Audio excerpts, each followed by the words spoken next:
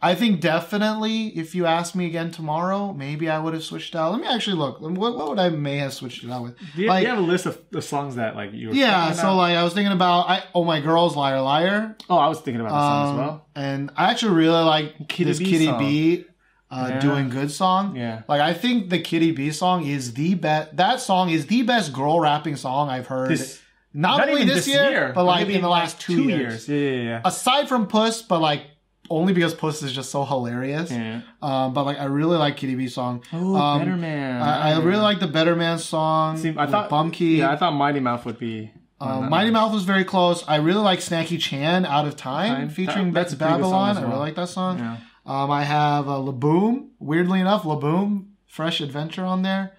Um, and Jay Parker's on there. You know, in a song like that strangely almost made my list. Uh, Minx. Minx is oh, on my oh mind. my my, I don't know what it is about that song. baby, baby. It's just like it's. There's nothing really like crazy special about it, but it's just. But no, it the just thing, gets into my brain. the thing about it is that no other song sounds like that. yeah.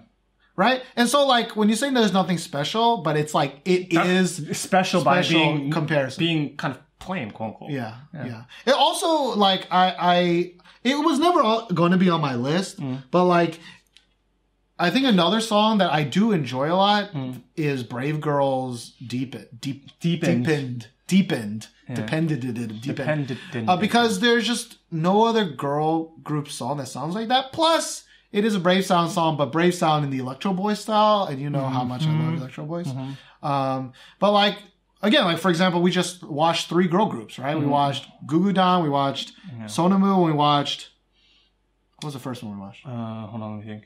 Um, Shit, can't remember. we, we were gonna. Yeah. We watched three, right? Yeah, we did.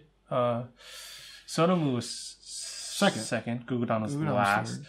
Um, the first one pro- probably was by some group that was recommended to us on Slack. I don't know. All that matters is Yeah. like th- a lot of those songs just sound like they're trying to be something else, trying to do something else, and like the Mink song is yeah. just so different. It's just so uh, It really is. uh, uh, not in like damn they're doing new shit, but just they didn't follow the same trend that a lot Sorry, of girls are are, phone. There we are, are, are following. Uh, it's not Melody Day. Uh, Sonamu. As always, professional on the after Yeah, show. show. super. Not not Sonamu. Are you gonna find it? Maybe. Probably not. Oh, no. Maybe we only watched two. No, I'm pretty All right, sure. I can You find it. what? I can Let's find do it by going to history right now. Okay. Um, pardon Come us. on, let's yeah, mute where- that my just in history case. here. Um, we do a podcast. This is after It was Brave, Brave Girls. We Girls. just talked Talking I about literally just Brave talked about Brave Girls. Girls. Yeah, it was Brave Holy Girls. shit! It was Brave Girls, uh, high, High heels. and like uh, that's a good example because like Deep End was so different. It was different. It maybe not the greatest song in the world, but it was very different. Mm-hmm. But like this new song is like.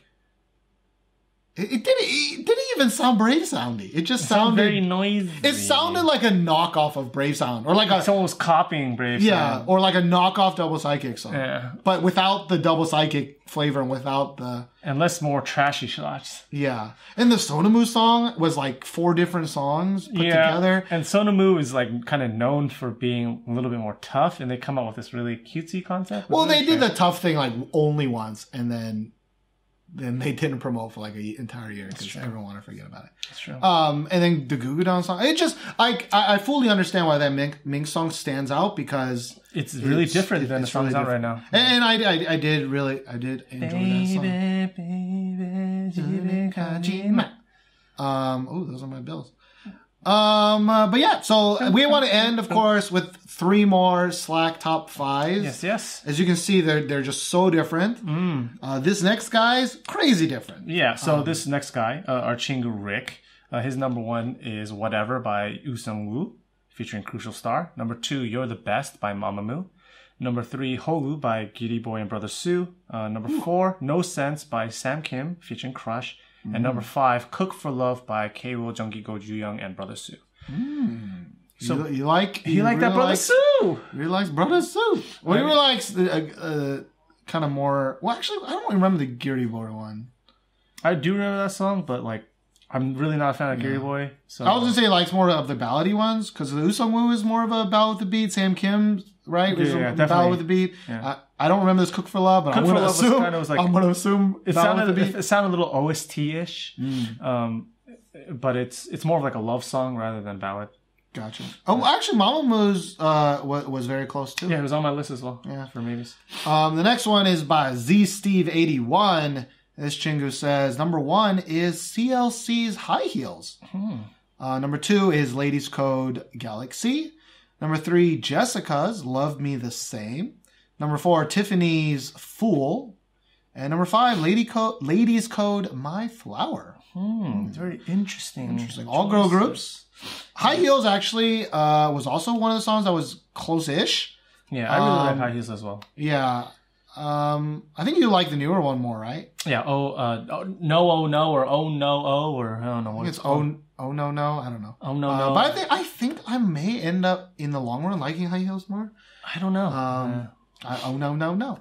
Oh. Um, who knows? who knows? All right, last one, Josh. All right, so last one is by our longtime chingu Diggy, with uh, number one being "Someone Like You" Dal Shabet. Number two, "Like an Airplane" Sonny and Gary. Number three, "Woo" by Rainbow. Number four, "Nice to Meet You" by Mighty Mouth and Soya. Number five, "Deepened" by Brave Girls. Rainbow's Woo. I, I, Not a I- bad song. I actually that was that was also a song that I was like, woo, It's grown on me. yeah, woo, ooh, ooh. I do not remember this Dal Shabet song. Clap clap, Yeah, clap clap, ooh, ooh, ooh. clap Um, clap. do you remember this Dal Shabet song? I do not. Yeah, I don't either. Oh, is this the one It's with the like one the four girls? Are they doing this? This choreography point where they're like owls?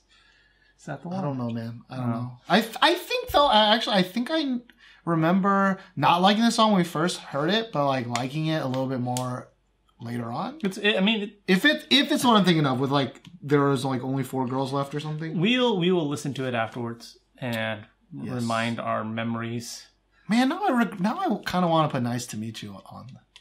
I do. You know, it changes. It, we knew it was going to change, but let's just stick with that for this after show show. Yes. So if you know you're not one of our Slack chingus, Yeah. Mm-hmm. please tell us your top five. You can either leave it on the YouTube comments if I ever put this on YouTube because I've been really late about YouTube stuff recently.